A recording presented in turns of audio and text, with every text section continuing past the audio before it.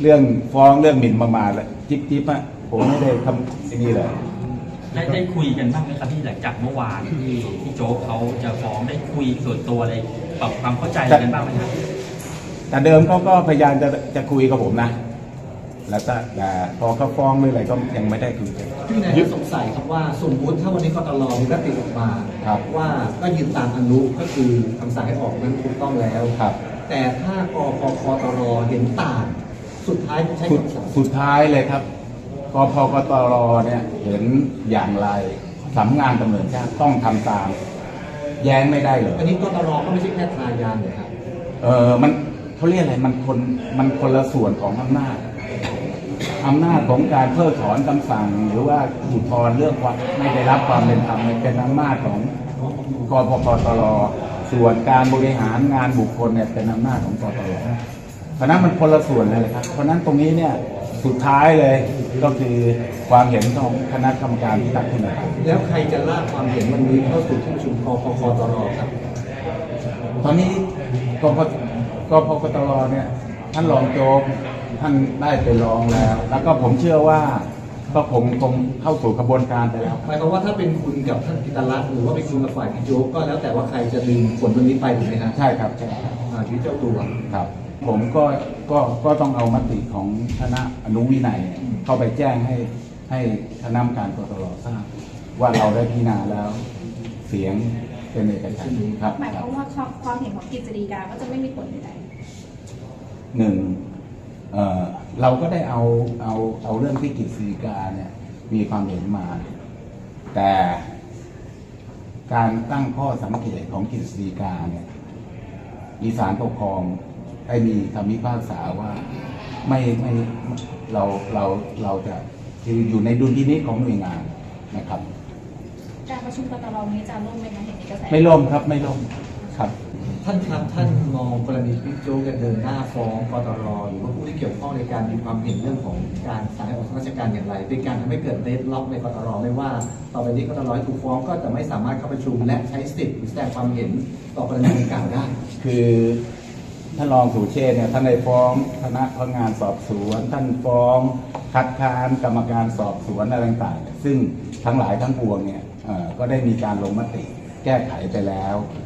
อันนี้เนี่ยเอ่อก็อยู่ที่คณะกรรมการคณะกรรมการที่พิจารณานะครับ ถ้าเห็นว่าผมอยู่ในสภาพร้ายแรง ไม่ให้ผมเข้าผมก็ไม่ไม่มีปัญหาต้องใช้กรรมการเท่าไหร่ถึงมีมเอ่อติสองในสามครับ 16 ท่านเอาสองในสามถูกไหมครับ ใช่ครับ แต่วันนี้ขาดไปหลายท่านเลยห้าถึงหก็ท่านประมาณสักสองในสามเนี่ยแปดเก้าเสียงก็ได้แล้วถูกไหมคครัรับบครับคนที่เข้าไม่ได้วันนี้ประกอบด้วยท่านอืพมบตรพบผู้ขัดตรแย้งแล้วก็ผู้ขัดแย้งอีกอีกสองท่านธนาท่านใช่ธนรัตน์ใช่ถูกไหมฮะ ใช่ ท่านครับขั้นตอนจากนี้เนี่ยสมมุติวันนี้ถ้ามีมติออกมา ไม่ว่าจะสถานใดคือยืนตามอนุหรือเห็นต่าง ผลของมันจะเป็นอย่างไร แล้วต้องนำไปสู่ที่ประชุมคณะกรรมการกกตรไหมครับ คือ ตามกฎหมายดีไซน์ไว้ว่าการเพิกถอนคำสั่ง หรือการอุทธรณ์คำสั่งเนี่ยเป็นอำนาจของคณะกรรมการพิทักษ์คุณธรรม คณะกรรมการกตรเนี่ยวันนี้จะพิจารณาว่าเฮ้ยสิ่งที่ดำเนินขอบอดำเนินการชอบหรือไม่ชอบ แต่อนุวินัยเนี่ยได้มีมติเสียงส่วนใหญ่ ว่าการที่ขอรักษาการพบตรเนี่ยใช้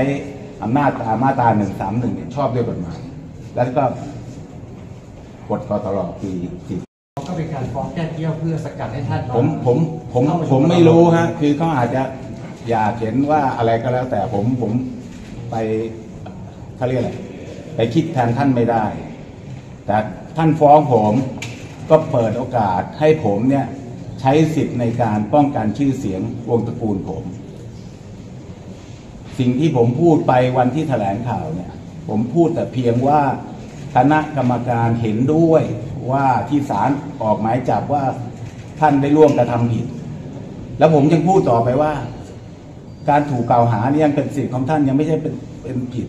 นะครับ ท่านยังมีสิทธิ์ต่อสู้ในกระบวนการยุติธรรมแล้วสรุปว่าวันนี้ท่านวินัยสามารถเข้าประชุมกตรได้ไหมครับ จริง ๆแล้วเนี่ยเอ่อศาลยังไม่ประทับรับฟ้องผมนะ ยังยังยังไม่ได้อะไรเลยเนี่ยก็ก็เดี๋ยวคือผมก็จะแสดงตัวว่าในเมื่ออย่างนี้แล้วเนี่ยคณะกรรมการที่อยู่ในที่ประชุมเห็นเป็นอย่างไรนะครับ คือเราก็ไม่แบบว่าเฮ้ยผมต้องเข้าประชุมไม่ใช่นะครับ เพราะฉะนั้นตรงนี้เนี่ยก็ก็แล้วแต่คณะกรรมการที่ประชุมในวันนี้ว่า จะเห็นผมว่าอยู่ในสภาพร้ายแรงหรือเปล่าอะไรอย่างเงี้ยครับ ถ้ายังสามารถทำหน้าที่ได้แสดงว่า การผลของการพิจารณาของอนุกตรก็ท่านวิจัยก็นำเสนอเต็มที่ถูกไหมครับว่าไม่ชอบหรือว่าชอบซึ่งมันพิจารณาแล้วคือว่าชอบคือกฎหมายคณะอนุกรรมการด้านวินัยเนี่ยนะครับ เรามีคณะกรรมการทั้งที่เกษียณและไม่เกษียณอย่างผมยกตัวอย่างท่านพลตำรวจเอกวุฒิชัยศรีนะรัตนาวุฒิพลตำรวจเอกปัญญามาเม่นพลตำรวจโทเสถียรมีทั้ง ที่เกษียณไปแล้ว แล้วคนส่วนใหญ่พวกเนี้ยทำงานด้านวินัยมา ผมเนี่ยยังมีความรู้สู้เขาไม่ได้ เพราะนั้นผมต้องฟัง แล้วก็ลงมติครั้งแรกเนี่ย มีการประชุมสองครั้งนะครั้งแรกเอกฉันท์ว่าพบตรใช้อำนาจตามมาตราหนึ่งสามหนึ่งเนี่ยถูกต้องนะครับ ครั้งที่สองก็มีท่านพลตำรวจโทวันลบเนี่ยเข้ามาแล้วว่า ท่านก็เห็นว่าเป็นเรื่องหนึ่งของศูนย์อนุสี่ ก็ไม่เป็นไรคือเราเราก็ถกเถียงก็บันทึกไว้นะครับ